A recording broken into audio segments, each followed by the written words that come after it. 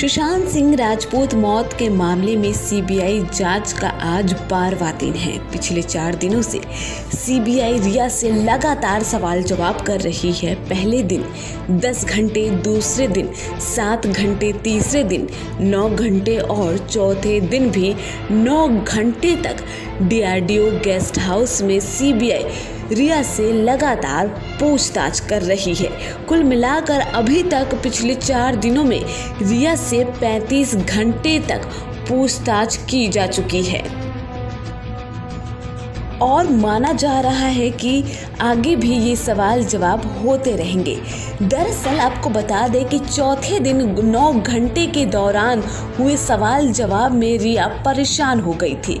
खबर है कि कई सवालों पर रिया असहज महसूस कर रही थी। खासकर ड्रग्स पर किए गए सवालों पर रिया थोड़ी सी नाराज़ लगी।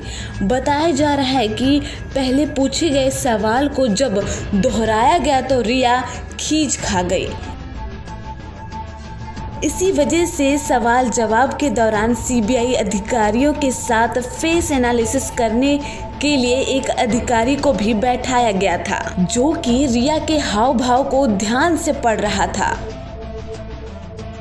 वहीं दूसरी तरफ़ सुशांत राजपूत की मौत के बाद फैंस उनकी याद में कई सारे वीडियो और थ्रोबैक पिक्चर शेयर कर रहे हैं। इसी कड़ी में सुशांत का एक और वीडियो तेज़ी से सोशल मीडिया पर वायरल हो रहा है।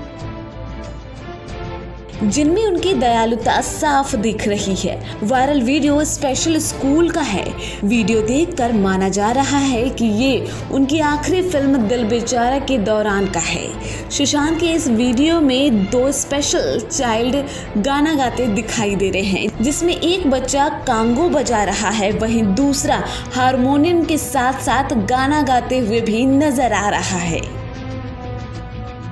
वीडियो में आप साफ़ तौर पर देख सकते हैं कि इन बच्चों को गाना गाते देख सुशांत सिंह इमोशनल हो जाते हैं और उन्हें गले लगा लेते हैं। वहीं सुशांत की बहन श्वेता कीर्ति ने एक साथ दो वीडियो भी इंस्टाग्राम पर पोस्ट किए, जिसमें सुशांत के टैलेंट को भी देखा जा रहा है।